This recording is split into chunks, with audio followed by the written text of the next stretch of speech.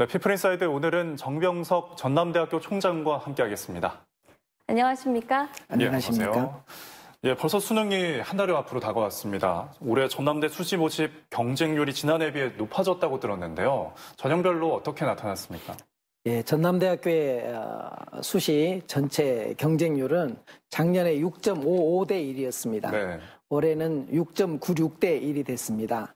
우리 어, 모집 정원의 반을 뽑는 학생부 교과에서도 5.62대 1이 6.23대 1로 늘었습니다. 네. 그리고 이 지역 그 인재 전형 어, 쪽에서는 어, 8.28대 1이었는데 9.10대 1로 어, 상당히 높은 경쟁률을 보였습니다. 이 정도 경쟁률이 상승한 대학은 어, 거점 대학에서는 충남대, 전북대 수준입니다. 네. 전남대학교에 대한 어, 국민의 평가가 어, 꽤 높아졌다 이렇게 판단합니다. 다만 농어촌 전형에서는 어, 4.40대 1이었는데 3.99대 1로 어, 낮아졌습니다. 이것은 농촌, 어촌, 산촌 지역에서 학령 인구 어, 감소 영향 탓이라 생각합니다. 네. 네. 어, 무엇보다도 이 전형을 간소화한 학생부 종합 지역 인재 전형에서 이 높은 경쟁률을 보였는데요. 학령 인구 감소에도 이 수시 경쟁률이 상승한 요인으로는 어떤 걸로 보십니까? 예, 올해 그 전형 방법을 여러 가지로 간소화했습니다. 특히 수능 최저 학력 기준을 어, 철폐한 것이 영향을 미쳤다라고 생각하고요. 네. 그리고 우리 지역 학생들이 이 지역에서 자라날 수 있도록 하는 지역인재 전형에서도 그 모집 정원을 어, 대폭 확장한 것도 영향을 미쳤다고 생각합니다. 특히 어, 지역 고등학생들을 상대로 해서 일대일 맞춤 어, 어, 진학 상담을 했고 또 진학 상담 교사들 대상으로 150여 회가 되는 그런 워크샵을 가진 바도 있습니다. 무엇보다도 전남대학교가 그동안 어, 제때 새로운 시대를 맞는 어, 학사 개혁을 해왔고 최근에 연구비에 있어서도 두드러지는 성과를 보인 것 이런 것들 거기에다가 나주 혁신도시의 성장 이런 것들이 크게 영향을 미친 것이 아닌가 생각합니다. 네, 네, 그렇군요. 근데 반면에 최근 2년간 입학 정원의 10%를 감축하면서 대학 운영에 있어서 조금 어려움이 있었을 것 같은데요. 어떻나요? 500명 가까운 정원 감축으로 해서 4년 전에 비해서 100억 원 정도의 등록금 수익 감소가 있었습니다. 네. 근래 10년 동안 등록금을 어, 동결하거나 낮춰왔기 때문에 그 여파가 재정 절벽이라는 표현이 적당할 정도로 큽니다. 아, 올해는 어, 학생들 학부모 부담을 경감시키기 위해서 학부뿐만 아니라 대학원에 있어서도 어, 입학금도 폐지했습니다. 네. 아, 이러한 여러 가지 어려움은 있었지만은 다행스럽게도 어, 문재인 정부가 어, 거점 국립대학을 중심으로 하는 고등교육 고등교육 육성 정책을 펴고 있어서 어, 다행으로 생각합니다. 아, 이러한 어려움을 헤쳐나가기 위해서 가장 중요한 게 국가의 재정 지원을 크게 확보해 나가는 것이라고 생각합니다. 아, 올해 국립대학 육성 지원 사업으로 50여 억 원을 지원받았는데 내년도에는 그 금액도 배가 되도록 노력을 하고 있습니다. 네. 어, 거기에다가 대학 혁신 지원 사업이라는 사업도 새로 시행이 되고 있고요. 특히 시설비 지원도 중요한데요. 어, 작년에 전남대학교의 시설비 지원을 210억 정도 받았습니다. 그런데 올해 378억을 받았고 내년도 정부 예산에서는 420억 원이 계상이 되어 있어서 어, 크게 안도감을 느끼고 있습니다. 어, 그리고 대학이 갖고 있는 여러 가지 기술을 어, 기업체에 이전하면서 저희 소득을 확보하기도 하는데요. 네. 전남대학교가 이 면에 있어서는 국립대학들 중에서 선두를 달리고 있습니다. 작년에 27억이었는데 올해 크게 늘릴, 늘렸으면 좋겠습니다. 아, 발전기금 확보도 정말 중요하지요. 아, 작년에 대학을 사랑하는 소의 그 릴레이 기부를 했었는데 280여 분이 참여해서 상당한 성과를 거두고 봐도 있습니다. 네. 네. 어, 전남대학교가 이 지역 청년 창업을 지원하고 캠퍼스 인근 환경을 개선하는 대학 타운형 도시재생 사업자로 선정됐는데요. 이 이와 관련해서는 어떤 계획을 세우고 계신가요? 예, 전남대학교 정문에서 북구에 이르는 어, 마을이 22만 제곱미터입니다.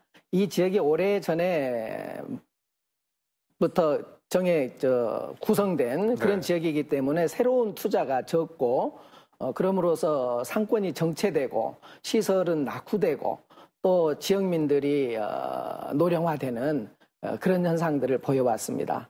어, 전남대학교는 학교 캠퍼스 타운으로서 이 지역을 어, 함께 되게 활성화시켜보자 하는 노력을 기울였습니다.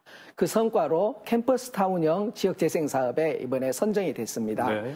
그래서 지역에 비어있는 공가라든가 또는 새로이 만들 지역 공원센터를 중심으로 해서 우리 학생들이 새로운 창업 아이디어도 함께 나누어 보고 또 어, 새로운 시제품도 만들어 보고 또 실제로 창업에 나서 보기도 하는 어, 그런 사업들이 시작이 될 겁니다. 또 전남대학교에는 1,500여 명에 이르는 60여 어, 개국 이상에서 온 유학생들이 있습니다. 그래서 글로벌 문화거리 같은 것도 그쪽에 마련이 될 것입니다. 아, 대학이 갖고 있는 여러 가지 인적, 물적인 자원들을 그 지역에서 함께 여러 가지 프로그램을 시행함으로 해서 지역 상권도 활성화시켜 보고자 하고요. 또 스마트 가로등이라든가 스마트 택배 시스템, 주차 시스템 이런 것을 통해서 스마트 도시 개념도 거기서 시험을 하게 될 것입니다. 이러한 여러 가지 어, 프로그램을 통해서 지역 상권이 활성화되고 또 지역민의 어, 생활 수준이 질적으로 향상되었으면 하는 바람을 가지고 있습니다. 네, 네, 그렇군요. 어, 전남대 연구비 수주액이 1,500억 원을 넘어서 국립대 1위를 기록하는데 연구 성과가 눈에 띄는데요. 전남대 연구 분야의 경쟁력에 대해서 설명해 주시죠. 예. 어, 지난해 공시 기준에 따라서 전남대학교가 국립대 중에 1위 연구비 지원 실적을 기록했습니다. 어, 그동안 어, 우수한 신진 어, 연구자들을 뽑고 또 성장해 나가는 중견 연구자들을 집중 지원하고 또 대형 연구 집단을 육성하고 이렇게 연구자 친화형 캠퍼스를 만들어 가고자 하는 정책이 성과를 거두고 있는 것이다 이렇게 생각합니다. 전남대 연구력의 강점이라고 생각되는 것이 어, 최근에 제4차 산업혁명 사회를 이야기하면서 연구가 필요한 분야가 크게 확대되고 있습니다.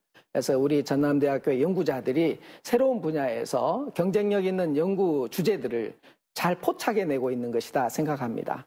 특히 이러한 경향은 우리 공학, 의학, 또 자연과학뿐만 아니라 농업, 수산해양 분야에 이르기까지 골고루 걸쳐서 확인할 수 있습니다. 어, 특히 인문사회과학 분야에서도 인문한국 사업의 어, 성과가 좋아서 재진입했을 뿐만 아니라 새로운 후속 사업에도 저희 인문대학이 선정이 되고 있습니다. 어, 제가 총장이 되면서 세계적 수준의 경쟁력을 가진 어, 연구 집단이 10개만 캠퍼스에 숨쉬고 있으면 바랄 것이 없다라고 마, 말씀을 드린 바가 있는데 네. 적어도 30개 이상의 씨앗이 뿌려졌다 이렇게 자부합니다. 네.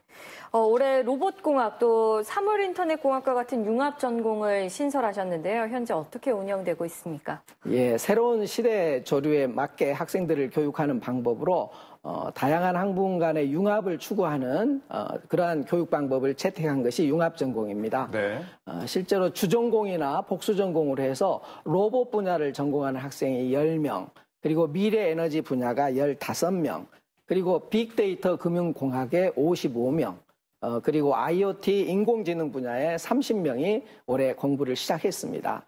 내년도에는 새로운 단과대학으로 어, 융합대학을 새로 개설하고 어, 소프트웨어 전공을 어, 기본으로 제공해서 어, 더그 성과를 확대해 나가고자 계획하고 있습니다. 네. 어, 이번에는 취업에 대해서 이야기를 해볼 텐데요. 전남대 학생들의 취업률 변화는 어떻습니까?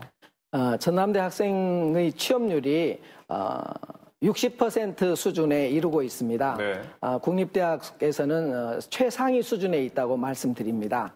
어, 융합인재교육원이라고 하는 전문 지원기관을 설치하고 또 단과대학별로 커리어 매니저라고 하는 일대일 어, 지원 어, 전문가를 배치했습니다. 그리고 교과과정으로는 어, 일찍부터 진로 설계와 자기 이해라는 교과목, 그리고 생애와 직업 탐색이라고 하는 지원 교과목을 운영하고 있고요. 무엇보다도 다양한 교양 과목을 통해서 인간과 사회에 대한 풍부한 이해를 깊게 하고 또 새로운 전공 과목 변화를 통해서 어, 충실한 전공 실력을 갖추도록 하고 어, 유도하고 있습니다. 네. 네. 어, 여수 캠퍼스의 이 해양수산 분야 경쟁력을 위한 높이기 위한 대책이 있으신가요?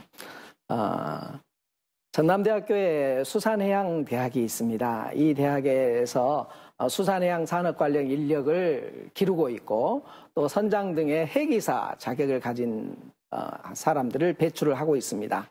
그래서 그런 분야의 어, 인력을 충실히 배양을 해, 배출을 하고 다음에 수산과학연구소가 올해 중점과학연구소로 선정됐습니다. 네. 정말 여수 캠퍼스에 처음 있는 그런 쾌거입니다. 네. 그리고 어, 우리 대한민국의 수산 분야의 단과대학을 갖고 있는 종합대학이 다섯 군데밖에 없습니다. 네. 그리고 해양대학이 두 군데가 있고요. 그래서 수산 해양 분야의 전문 인력을 가르치는 배양하는 어, 그런 대학이 일곱 개밖에 없는데 그러한 대학교 간의 협의체가 아직 없습니다. 그래서 이번 10월 달에 이 대학들 총장 협의회를 갖고 그러한 협의체를 어, 출범을 시키고 그래서 어, 수산해양 분야에 국가의 전폭적인 어, 지원을 어, 이끌어내고자 노력할 것입니다. 네, 알겠습니다. 오늘은 여기까지 하겠습니다. 지금까지 정병석 전남대학교 총장이었습니다. 오늘 네. 말씀 감사합니다. 고맙습니다. 네, 감사합니다.